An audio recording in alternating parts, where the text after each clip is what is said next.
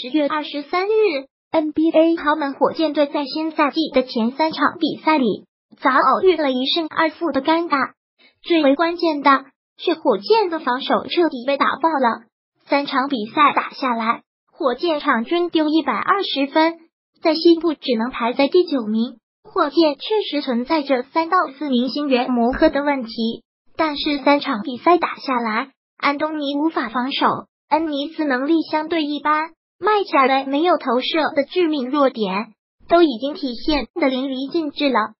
这三个人加上还在养伤，预计到十一月下旬才有可能复出的奈特，是火箭新赛季最重要的四个引援。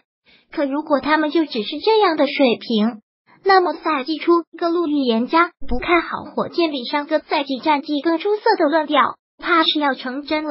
而火箭总经理、球队实际管理的一把手莫雷，在今天最新接受 NBA 第一名基沃纳罗夫斯基的采访时，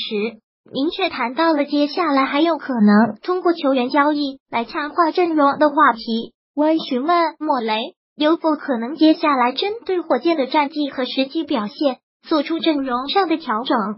对此，莫雷回应说：“他的工作是要想办法让火箭队比其他球队更快的得到更好的球员，所以他必须更快的去判断什么样的教练和球员最能够帮助火箭队夺冠。”从莫雷的回答不难看出，如果接下来火箭战绩没有好转的话，这位巨头不会袖手旁观。如果他不做交易，那么背锅的就是他。火箭大老板贝尔蒂塔在九月份已经放过话了，不能展现出夺冠的实力，他会考虑换一位总经理。